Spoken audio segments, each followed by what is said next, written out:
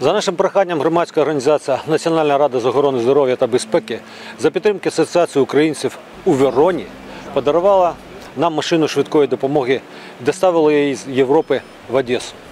І сьогодні ми разом з головою громадської організації Микитою Карпенка та його командою передали машину комунальній швидкій допомозі. Машина буде використовуватися за потребою медицини міста.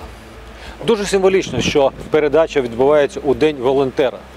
Я хочу подякувати Національній раді з охорони здоров'я та безпеки, Асоціації українців у Вероні та всім волонтерам за співпрацю та допомогу. Міцного здоров'я, успіхів та витримки. Все буде Україна!